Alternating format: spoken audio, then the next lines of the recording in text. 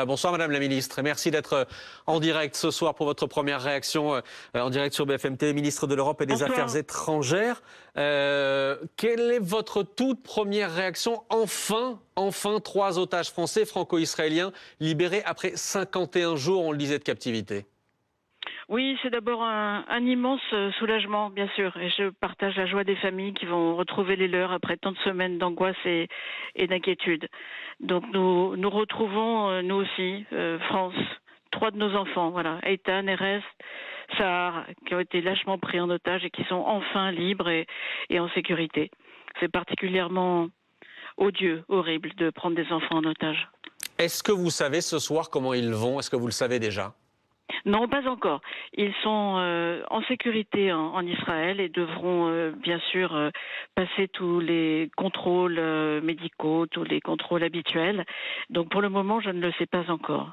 Maintenant qu'ils sont libres, est-ce que vous pouvez nous en dire plus sur ce qu'ils ont vécu ces 51 derniers jours, sur ce que vous savez de leurs conditions de détention? Non, c'est eux qui le diront par, euh, par leur témoignage. Et toutes ces informations, elles seront d'abord réservées, vous le savez bien, à leur famille. Et il le faut, c'est normal. Il y a des moments cruels qui ont été vécus par, euh, par eux. Euh, il faut maintenant les, les laisser se retrouver. Et puis par les soins qui les entoureront, l'affection euh, des leurs, euh, reprendre, reprendre une, une, vie normale s'ils le peuvent.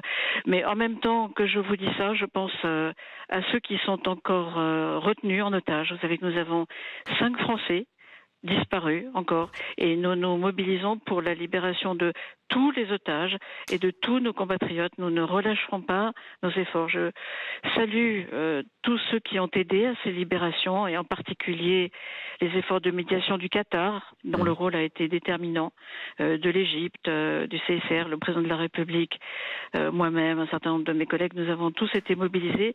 C'est la priorité numéro un de la France que de faire libérer nos compatriotes. Euh, c'est normal, nous ne nous n'abandonnons jamais, jamais les nôtres. Combien de Français sont toujours aux mains du Hamas ce soir, Madame la Ministre? Cinq euh, Français sont euh, disparus ou otages. Et il est important d'avoir cette prudence parce que nous n'avons pas de certitude pour certains d'entre eux sur leur situation.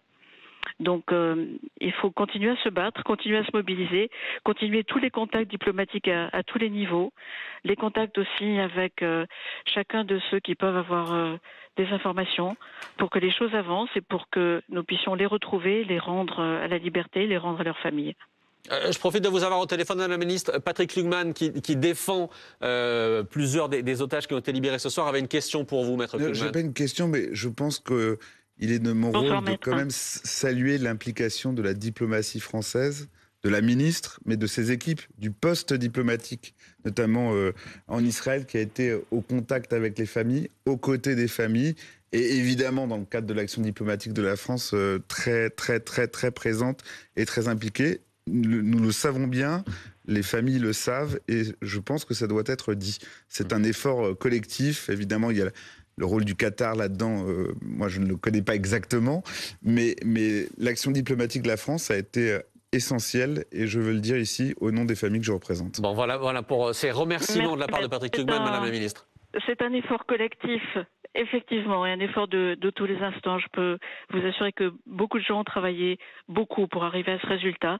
Tout n'est pas fini. Nous avons encore euh, des compatriotes qui ont disparu, qui sont peut-être otages. Et donc nous allons continuer. Nous ne relâcherons pas nos efforts pour qu'ils soient libérés. Mais merci de ce que vous avez dit, maître.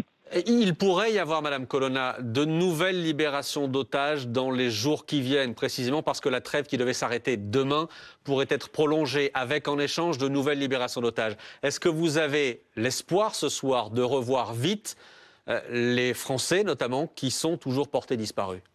Je resterai aussi prudente que je l'ai toujours été et, qu'il faut l'être, puisque vous savez que les négociations sont difficiles entre le Qatar et le Hamas, qu'il y a euh, jour après jour des difficultés, même aujourd'hui, vous avez vu qu'il y a eu un certain nombre d'incertitudes.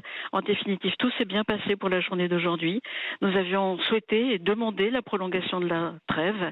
Eh bien, il y a une prolongation et donc il faut souhaiter que les libérations puissent continuer et même que la trêve puisse être poursuivie au-delà, car il y a encore beaucoup d'otages aux mains des groupes terroristes. Et est-ce que vous espérez que cette trêve se transforme en cessez-le-feu beaucoup plus durable? Il faut y travailler et il faut y travailler euh, sans relâche. Que de cette euh, bonne nouvelle qui est venue avec la semaine dernière l'accord sur une trêve permettant la libération d'otages puisse euh, venir d'autres gestes positifs et peut-être une désescalade et une solution politique car il en faudra une. On le sait bien, pour la paix et la sécurité de chacun, pour que chacun puisse voir ses aspirations à la paix et à la sécurité être euh, assuré, il faudra une solution politique.